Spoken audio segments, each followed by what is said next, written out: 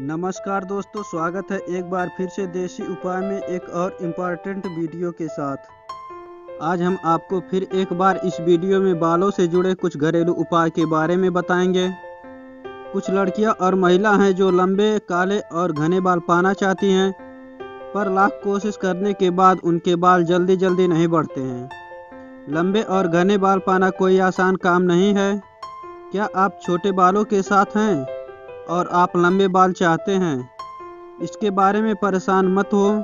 इस वीडियो में हम आपको विभिन्न और सरल घरेलू उपाय के बारे में बताने जा रहे हैं। अगर आपने अभी तक हमारे चैनल को सब्सक्राइब नहीं किया है तो तुरंत कर लें और बेल आइकन को दबाकर ऑल नोटिफिकेशन ज़रूर ऑन करें ताकि जब भी कोई खास वीडियो अपलोड करूँ तो सबसे पहले आपको मिल सके। इसलिए ऑल नोटिफिकेशन ज़रूर सेलेक्ट करें।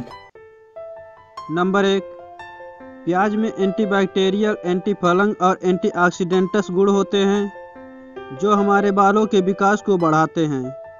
इसमें मौजूद सल्फ़र तत्व बालों को ठीक और शाइनिंग बनाता है, साथ ही उसकी लंबाई को भी तेज़ी से बढ़ाता है। प्याज का रस सिर के ब्लड सर्कुलेशन को बढ़ाता है और बालों को मज़बूत बनाता है। इससे आपके बाल स्वस्थ रहते हैं और उनका विकास तेज़ी से होता है। इसके लिए हफ़्ते में एक बार प्याज को काट कर उसका रस निकाल लें और उसे नारियल के तेल में डालकर अपने बालों में लगाएँ और मालिश करें। इसके बाद अपने बालों को अच्छे से धो लें। नंबर दो, हेयर एक्सपर्ट मानती है कि बालों को सॉफ्ट और चमकदार बनाने के लिए शैम्पू में शुगर अर्थात चीनी मिलानी चाहिए। जब आप शैम्पू में चीनी मिलाकर बालों पर लगाती हैं तो सर की सफ़ाई ठीक से होती है। डेली शैम्पू में शुगर मिलाने से बालों के पास की मृत त्वचा आसानी से हट जाती है।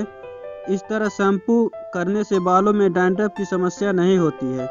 नहाने से पहले एक चम्मच चीनी में शैम्पू को मिलाकर लगाना चाहिए। नंबर तीन, सबसे ज़्यादा घरेलू उपाय में शहद का इस्तेमाल होता है। शहद एक प्राकृतिक मॉइस्चराइजर है जो बालों को जड़ से मज़बूत करने में मदद करती है। हेल्दी हेयर और चमकदार बालों के लिए शैम्पू में शहद मिलाकर लगाएँ। नियमित तौर पर ऐसा करने से बालों की चमक और रोशनी होने लगेगी। दो चम्मच शैम्पू में दो चम्मच शहद मिलाकर बालों में लगाने से ज़्यादा फ़ायदा होता है।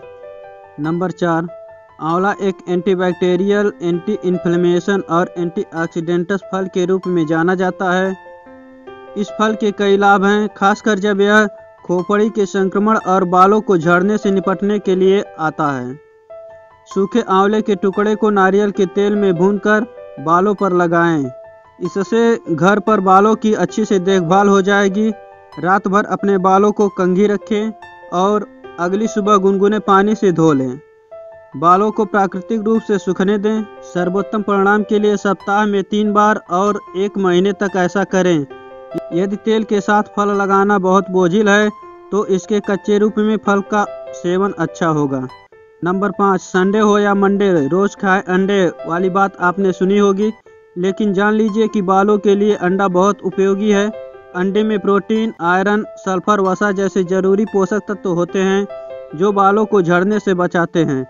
अंडे के सफ़ेद वाले हिस्से में थोड़ा सा जैतून का तेल मिलाएँ और यह मिश्रण तैयार कर हल्के हाथों से हफ़्ते में एक बार मालिश करें। इसके बाद किसी माइसाइंजल शैम्पू से बाल को धो लें बालों का झड़ना रुक जाएगा और उसकी ग्रोथ भी अच्छी होगी।